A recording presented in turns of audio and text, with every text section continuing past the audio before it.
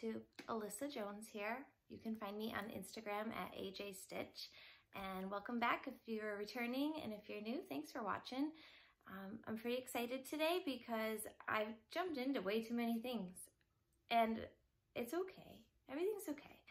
Um, life's been crazy, very stressful with school. It seems like as a teacher every two weeks right now, things change and you have to adjust and you never feel like you've quite got a handle on things. That's been stressful and I wouldn't get through it without my work friends and the support that I have around me.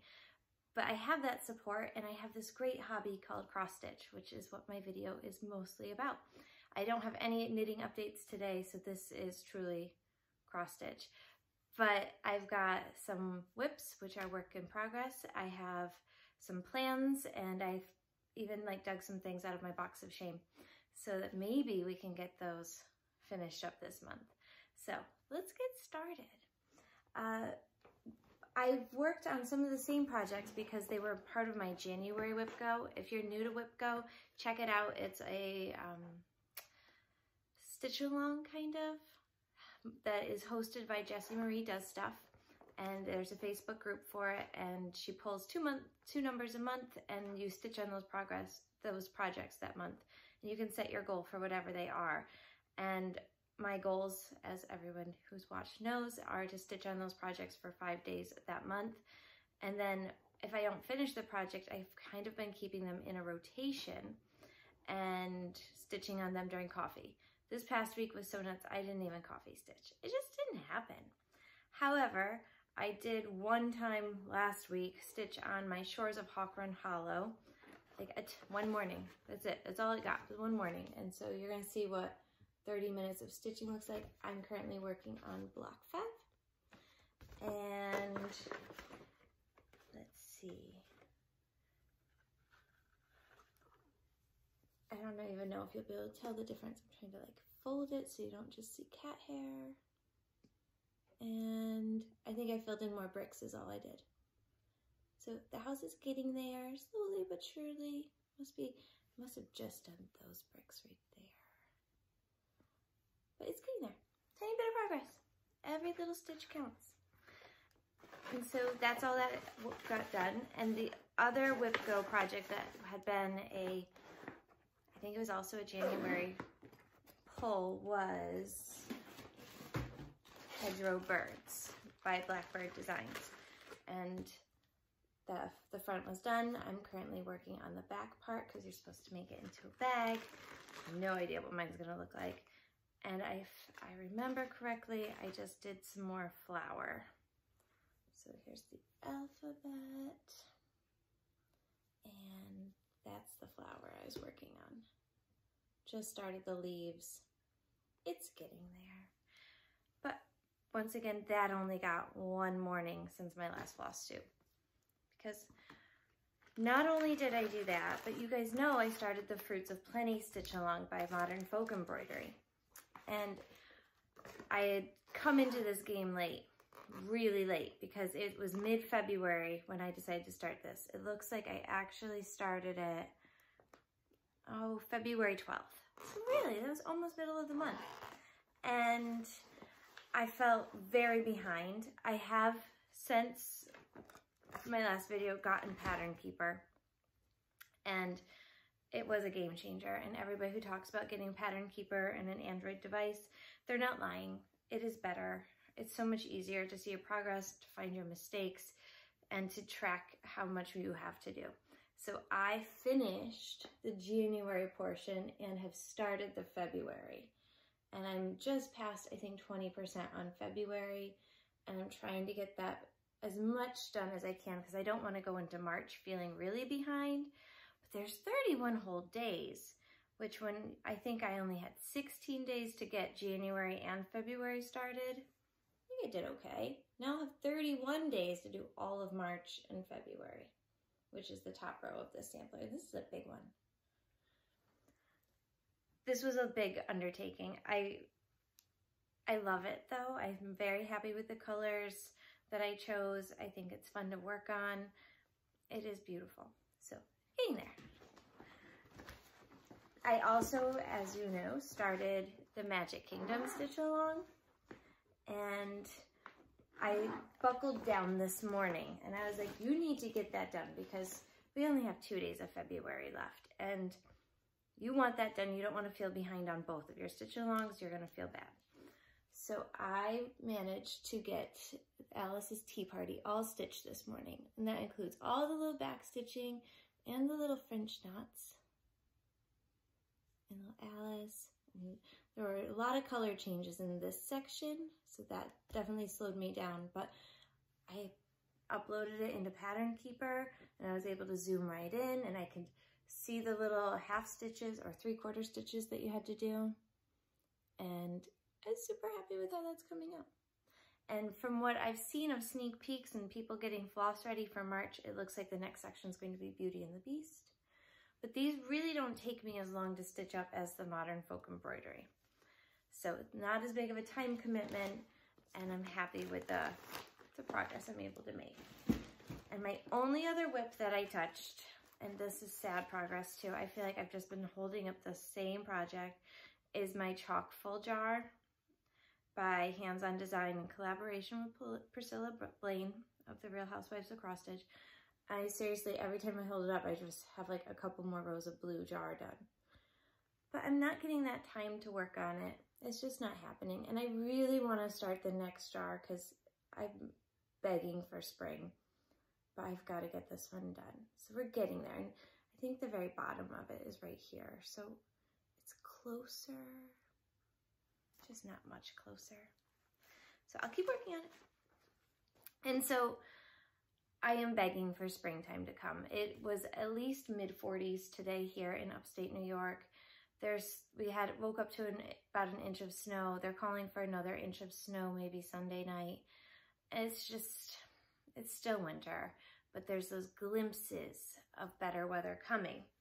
And so when I was listening to the Steel City Stitchers talk about their March Stitchy Madness that they're doing, I thought, ooh, I've got some spring projects started that would be really happy to work on. And so just today, I also pulled together a bracket and I'm gonna do it the way that they describe in their video. It's like two videos ago, they go through this in really great detail. So I just put in my bullet journal, I made a quick little bracket and I have the pink ones are my new starts and the green ones are WIPs that I already have. And the goal is you stitch on that project on that date and the next one on the next date and you put up an Instagram vote in your story and whichever one wins moves on to the next round and you finalize it until you get to your last WIP, which would be March 15th and you try to finish that one by the end of March.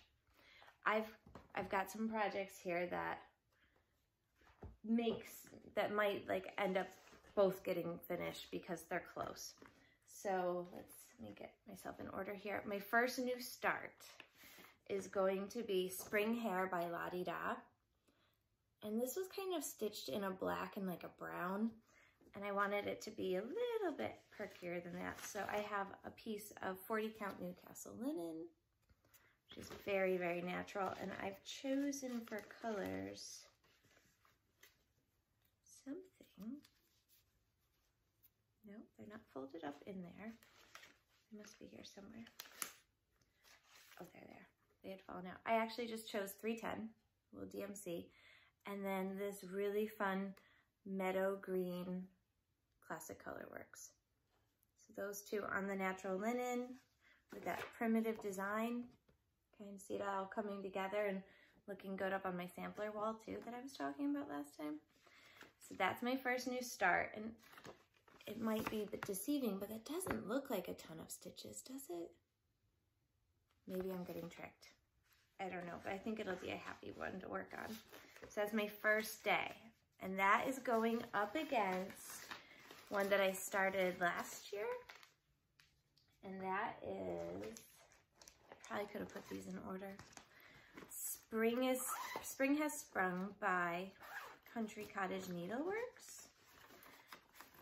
And I'm almost to the halfway point. There's a tiny little picture.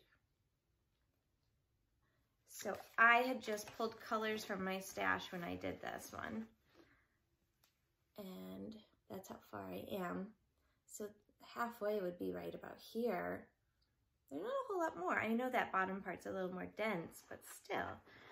So we'll see which one of those projects makes it through. And here's my color palette for that. I've got chives and bamboo and old marigold, which is like an orange and a pink put together. And shutter green and tropical ocean is the blue I chose. And Ohio lemon pie and clay pot. So that's like my little rainbow that I'm stitching that one with. I think I started that on a whim one day too, last spring. All right, so then the next section of bracket is going to be for a new start. The next one in one of the giant seasonal series that I love to start, and that is Hello Spring by Plum Street Samplers. Now I know this is more stitching than it looks like. I don't even have all of the colors, but I thought I could start it, and if it wins, I can either pull colors from my stash or pull or order them. I have time because it's early in the month. And so that's what I have ready.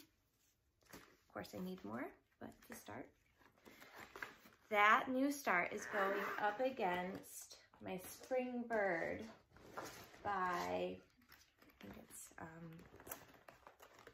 Heart in Hand. So Spring Bird, and he's actually pretty far. So I think I could finish this in a day if I actually worked at it and depending how tired I am that day. But all that's left is egg, nest, and the word spring. That's not a lot. So he could be a finish, and then he wouldn't move on. Then when he, um, the Hello Spring would move on. So we'll see.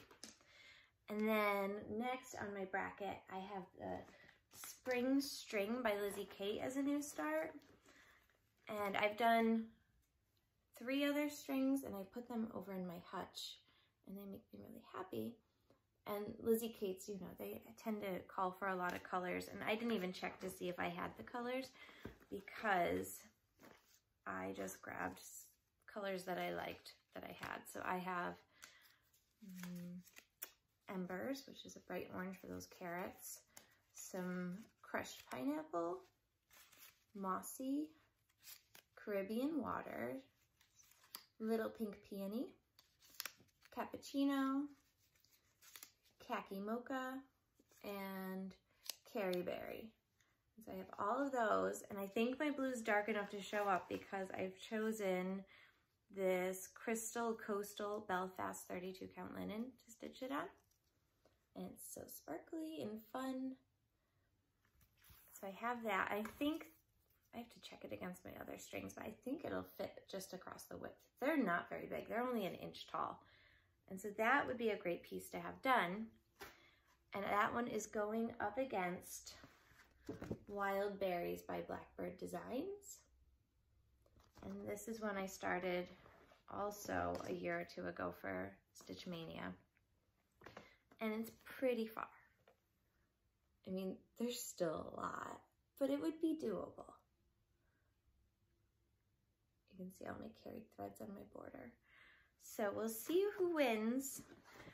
And for my last two days of the starting brackets, I am going to use the same blue and the same colors I pulled because it's another Lizzie Kate Spring one. And all I added was a little bit of black coffee because there's a ladybug face to stitch. And this would be the Spring Smalls by Lizzie Kate. And I would be doing this little pillow that says spring, but I don't make it a pillow. I have an easel that I have autumn and winter already done for. So if I got spring done, that would be all set and ready to decorate with. So I have this whole spring theme. Spring Smalls is going up against, for my last one, kind of a big one. This, I hesitated, because but I ran out of spring WIPs. I really wanted to stick with my theme. So this is Spring by the Cricket Collection. And this one I started two years ago, I think. And I have almost to the halfway point there. The SP and the R are done, and I was starting that section by the I. But really, those are more stitching than they look like. I don't know if you can see like the birdhouse, and then there's all that on the N. The G is pretty intense. but I would love to have it done. So that's what's gonna happen. And that's my bracket. Each day I'll start a new one or work on that WIP and we'll battle it out and see who makes it to the end. The only, oh, I do have other plans because the March WIP Go numbers were called. And so for March WIP Go, I have to spend five days working on a year of celebrations by Hands On Designs. And I have stitched January, February, March, April, May, June. Do I have those right? Yeah, and I finished July most recently. And so I would be starting August and I didn't have the called for colors. So I just once again grabbed colors that I had and you can see here's my July. And they're not very big. They do stitch up quick actually. You can see my May, June, and July. So I'm ready to start August right there.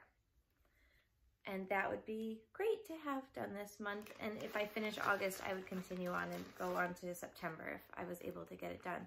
But with the March Madness and the Fruits of Plenty sale and the Magic Kingdom sale, you know that there's just not enough hours in the day. And the other project I have to spend five days on is Kringles, which you have seen before and I haven't stitched since. So I'll get that out next time because it's in that pile somewhere. And amidst all of this, I actually didn't think I was going to have enough content. I don't know why I thought that way. I think it's because I felt like I hadn't stitched, but I've obviously stitched a lot. Um, I was watching Darcy Cameron's latest floss tube, and he is starting a stitch along. And he's in partnership with someone else, and they've got all these people already joining it into it. And I don't know, it looks really fun and springy. And I feel like if you know I've been living in upstate New York, you're going to understand why I think I need all of this color in my life. But it's the mini sunflower house. And it's a HAED. And I mean, it's a mini, but it's still 195 by 289. It's massive. This is not something I would be starting and thinking I was going to get very far with anytime soon. But I really want to start it because, I don't know, when you do a sal, like any of the other sals, it's like you're part of this great community and our stitching community is wonderful. So I think I'm to get it and I'm to I'm to kit it up and get it ready to start it. I think I already have a piece of easy count ready to go.